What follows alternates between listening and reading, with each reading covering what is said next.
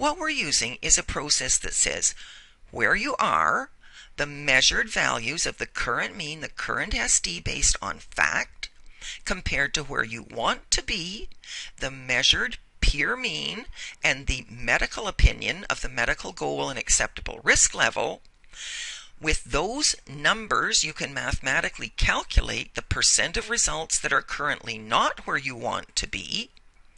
You can calculate the number of SD that you can shift from where you are now until you're no longer where you want to be. Or you can do what's currently recommended today and you can calculate a sigma metric. I'm almost embarrassed to tell you, but this formula is mathematically incorrect you are coming to a point where you're going to have to choose how you're going to measure risk. There are at least four ways that I know of to calculate sigma.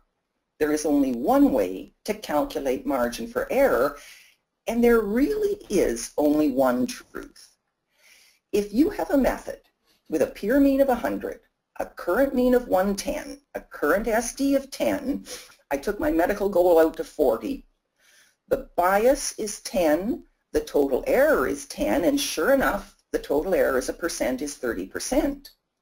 But if you calculate bias and standard and CV and add them up, you don't get 30%.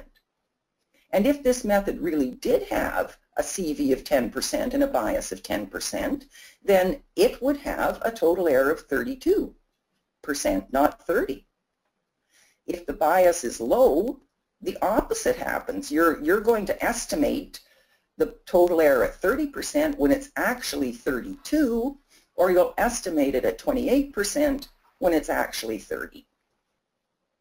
If we take the numbers to calculate margin for error and sigma, so sigma is simply your margin for error plus 2. The margin for error is how far you can shift until your risk becomes unacceptable. Sigma is the number of standard deviations between the mean and the total allowable error limit. By the time you reach zero sigma, for the 8% of, of you who said that was okay, you have 50% failure. Um, watch it. I'll take that up to 110. The number of patients at risk is 50%. The margin for error is minus 2, but let's calculate sigma. If you calculate sigma from the percents, in this case, you're going to get a sigma value of 0, same as we got. With a sigma value of 0, there's a 50% error rate. Let's bring this back to something a little more reasonable, or maybe, whoops, up in the realm of 105, if the mean is 105, if I choose to calculate margin for error and transfer that to percent and transfer that percent to the number of medically unreliable results in a month, I get 187. If you calculate sigma from percents, if you, if you transfer this to percents and then calculate your sigma, you'll think there's only 130 people at risk. We asked about long-term and short-term sigma. Six sigma comes with a built-in assumption of a shift of minus 1.5 sigma to long-term. We're back to a new recording to see if we can add a little bit of clarity or a little more confusion to the idea of Six Sigma. And I do apologize for speaking badly about Six Sigma. I know it is near and dear to the hearts of many of you, but please hear me out. I think there's things that we're missing, and I'm just not sure that this industrial process belongs in the medical lab. Consider this. When we voted, they went anywhere from 8% said 0 sigma was acceptable, and 28% said no, it's got to be all the way up at 6 sigma. Had I phrased that question differently, I think the answers would have been very different. If you translate the sigma values into the number of medically unreliable results, you find that what we just voted for here was acceptable risk of medically unreliable results somewhere in between 1 in 2 and 1 in a billion. How many bad results are you willing to report? And if you're using the sigma metric, this is in essence what you are saying. A sigma of, of 0 is a 50% failure rate. A sigma of 6 is 1 in a billion. A sigma of 3, 2, wherever you set that sigma, determines the percent of results that will fail, that you'll allow to fail, and the number of medically unreliable results. So for those of you who said, I would accept a sigma of zero, what you're really saying is I would accept one in two results being medically unreliable. However, if you said I want a sigma of 6, then you want it to be 1 in a billion. You may not be able to attain that goal. And then we added the complication of was it a short-term sigma a long-term sigma or what is the difference? And this is why I say Six Sigma I don't think works the way it is in medical labs. Here's the real kicker about Six Sigma. Most people don't even know there's a difference between short-term sigma and long-term sigma. And yet, part and parcel of the Six Sigma concept is a difference between short and long-term sigma of 1.5 SDs, 1.5S. So the fundamental assumptions of Six Sigma are unknown or unclear to most people in the lab. We had almost 100 people vote on that. If you calculate risk using the measured values, you get a different number than if you were to calculate sigma from percent. And that's why you need to choose. Look what happens if you calculate the percent risk. Simply take the margin for error. Margin for error you can calculate in your head. It's the error you're allowed minus the error you've got, your total error, divided by the SD.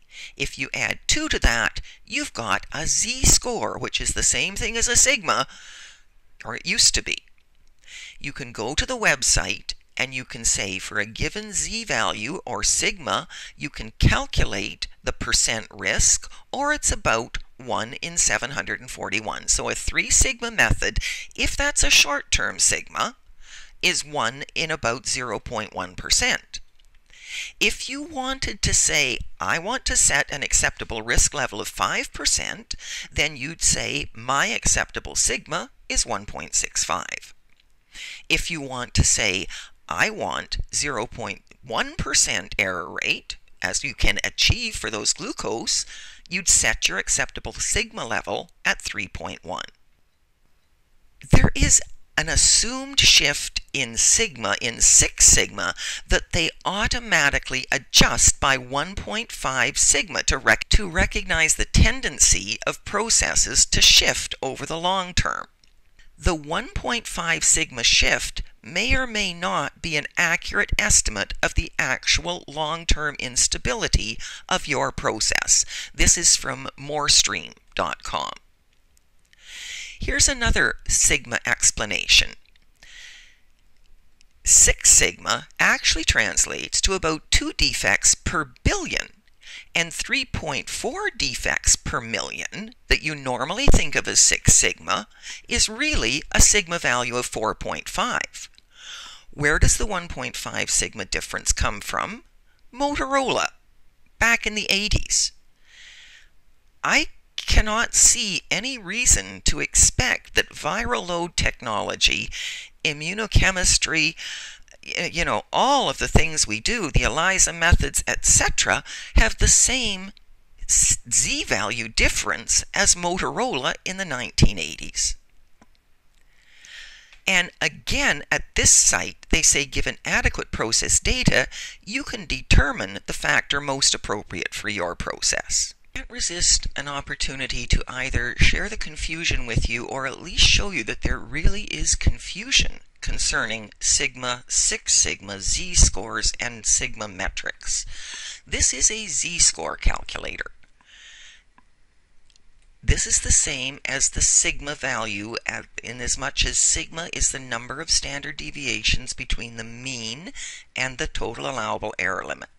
You can come in here, calculate, put in a z-value, and calculate the percent risk.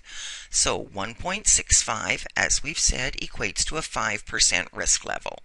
If your sigma value is 3, that's only a 0.135% level. Here, on a z-value table, however, come to a Six Sigma table and things are completely different. This is a sigma conversion table. The 1.5 SD shift may or may not be an accurate estimate of your process. Come here to a sigma of 3. It tells you that there's a 6.7% risk rate.